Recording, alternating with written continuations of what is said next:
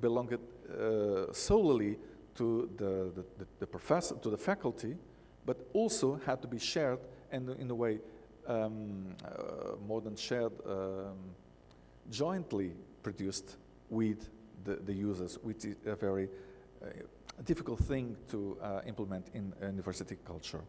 Well, basically, uh, I hope that it's, uh, the pronunciation is correct. I tried to be nice, but I don't know if it was correctly spoken. And uh, thank you very much.